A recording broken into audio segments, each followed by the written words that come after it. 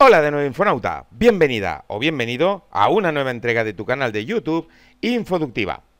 En esta ocasión, siguiendo con el curso de bases de datos, vamos a ver cómo añadir un campo de fecha de nacimiento y plantearemos por primera vez cómo realizar el cálculo de la edad. Interesante, ¿verdad? ¡Comenzamos! Como siempre, tengo abierta la base de datos en el punto en el que la tenemos creada, de modo que en esta ocasión vamos a continuar. En principio, esto parece bastante sencillo. Tendremos que darle, por ejemplo, botón derecho alumnos, vista diseño. A continuación vamos a añadirle, por ejemplo, la fecha de nacimiento después de los apellidos. Aquí el campo lo vamos a llamar fecha de nacimiento.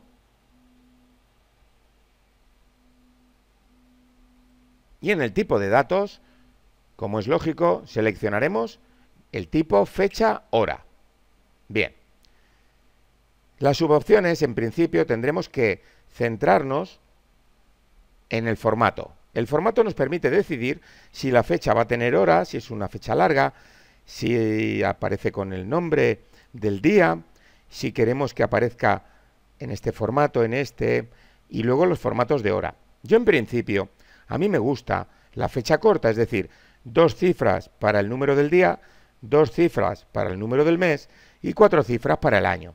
De modo que yo voy a seleccionar esta y ya está. Ya tendríamos el campo fecha de nacimiento. ¿Bien? Cerramos aquí, le decimos que sí. Y a continuación vamos a... ¿Ves qué fácil? No es, no es nada difícil. Pero a continuación lo que realmente es difícil es plantear cómo sería el campo edad. Bien, ¿cómo te digo esto? En principio, pensar en el campo edad ya por definición es incorrecto. ¿Por qué? Veamos. Si mi base de datos quiero que sea durable y que no me traiga más trabajo del necesario, es incorrecto pensar en el campo edad, ya que por definición, en cuanto lo rellenemos, supongamos que tenemos 500 alumnos, en cuanto rellenemos 500, 500 edades, aunque sea de forma automática, el año que viene ya no estaría bien ese campo edad.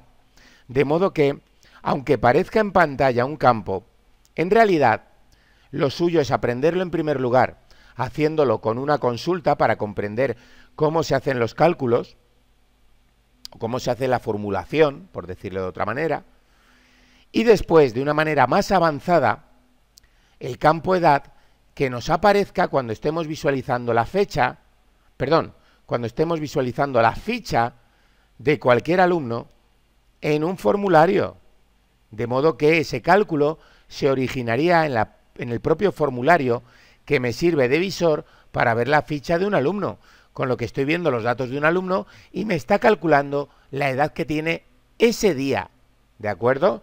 Incluso también me podría decir cuántos días faltan para su cumpleaños, etcétera, ¿de acuerdo? Entonces, por definición, campo edad es incorrecto, porque no debería estar ese dato en un campo, ya que en un campo intentamos que estén los datos no variables. Bien, aclarado esto, vamos a centrarnos a continuación, ya que hemos hecho el campo fecha de nacimiento, en primer lugar vamos a abrir la tabla alumnos y vamos a ponerle a cada uno de estos alumnos una edad, ¿de acuerdo? Vamos a suponer que cuando pinchamos en Pepito, fecha de nacimiento me permite escribir, pero también me permite, como ves, aparece un pequeño calendario que al pincharlo me da directamente el calendario, así que podríamos irnos hacia atrás manualmente, pero esto me interesaría cuando hablamos de un día cercano al día de hoy, pero en el caso de fechas de nacimiento vamos a suponer que este niño nació el 15 del 4 del 2010, vamos a suponer que fulanito nació el 28 de agosto, bueno, no, de junio del 2010 también. Y por último, Andrea, le vamos a poner que nació el día 30 de junio del 2010 también. Porque suponemos que son del mismo curso. Bueno, esto ya cuando tengamos más datos introducidos nos servirá para hacer pruebas. Como ves, no podemos escribir otra cosa. Si intento poner letras y le doy a Enter, me dice que el valor no es una, no es una eh, fecha. Esto ya lo controlaremos más adelante cuando profundicemos en los valores de molde para fechas. Bueno, sigamos. En principio, como ves, ya he introducido las fechas de cada uno de ellos, de modo que tienen 8 años, ¿vale? Todos ellos, si les sacamos la edad, nos tendrían que decir que tienen 8 años, cada uno de ellos, ¿bien? Todos los tienen cumplidos a fecha de hoy, porque estamos en septiembre del 2018. De modo que vamos a ver una consulta como primer, primer contacto con los cálculos. En las consultas nos vamos a venir a crear, vamos a seleccionar nuestro diseño de consulta. Por supuesto, vamos a seleccionar la tabla alumnos. Recuerda que con darle doble clic ya me la añade. Bien. Recuerda que si vuelves a pulsar doble clic te la vuelve a añadir. Esto no deberías hacerlo así de momento. De modo que esta que es la segunda que he añadido la borro, como ya vimos. De modo que ahora centrémonos en los cálculos. Como podemos ver, en principio yo lo que voy a querer hacer con esta primera consulta que tiene que ver con cálculos será decidir, en principio, otra vez quiero todos los alumnos ordenados por apellidos,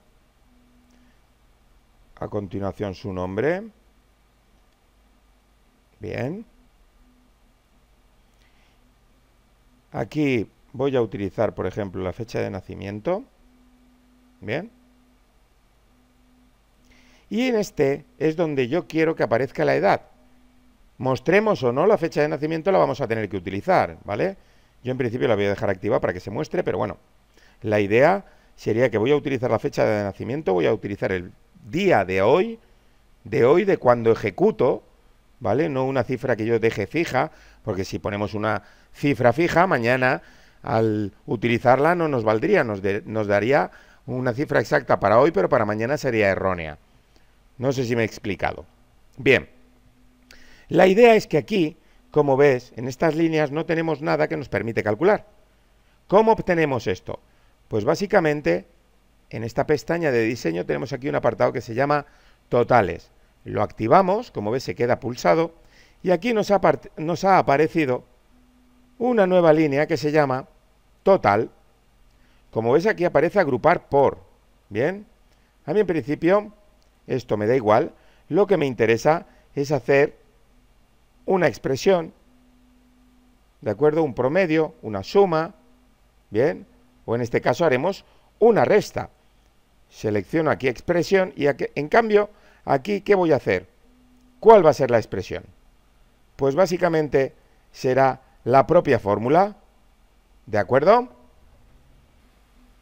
Bueno, voy a agrandar esto un poco para que al poner aquí la expresión la puedas ver con claridad. Veamos. Vamos a ir hasta el principio. Así, la voy a hacer un poquito más grande. Veamos, es un campo virtual, ¿de acuerdo? Básicamente lo que hemos hecho aquí es poner edad, dos puntos, de modo que este sería el campo virtual que estamos creando. La función div fecha, abrimos paréntesis, entre comillas, triple A, ¿de acuerdo? Ya hablaremos de qué significa esto cuando profundicemos en la formulación. Punto y coma para poner el segundo dato, que al ponerlo entre corchetes me estoy refiriendo al campo fecha de nacimiento, hay que escribirlo con exactitud. Punto y coma, y el tercer y último dato, la función fecha abro y cierro paréntesis de esa función y cierro el paréntesis que está abierto aquí después de la diferencia de fecha. Bien, Si le damos a ver, como ves, automáticamente nos da la edad. De modo que lo cerramos aquí, le decimos que sí, vamos a llamar esta consulta edad de los alumnos y a continuación cuando le damos doble clic a esta consulta como ves nos da una edad de 8 años a cada uno de ellos que es justamente la edad que tienen a día de hoy ¿de acuerdo? no voy a profundizar de momento en detallar esto pero si has echado un vistazo al curso o a los vídeos que tengo de Excel, entenderás que div fecha es una función que necesita que le demos tres datos dentro de dos paréntesis, este que cierra y este que abre. Los tres datos son, digamos, la forma en la que vamos a ver la respuesta, es decir, 4as hace una cosa, bien. Después de punto y coma, o dicho de otra forma, el punto y coma sirve para separar los distintos parámetros que nos pide. Div fecha nos pide tres. El segundo de ellos es el campo o la fecha, en este caso. Y el tercero y último también es una fecha.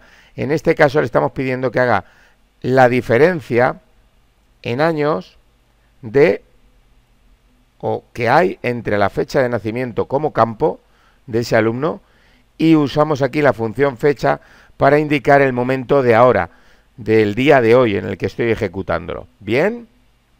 Como veis, aquí ha cambiado por agrupar por. Si lo dejo en agrupar por, aparecerán en un grupo todos los que tienen 8 años, en otro grupo 7 y así. Si hubiéramos puesto, por ejemplo, expresión, al ejecutarlo, vamos a darle a ver, sigue funcionando exactamente igual, ¿de acuerdo?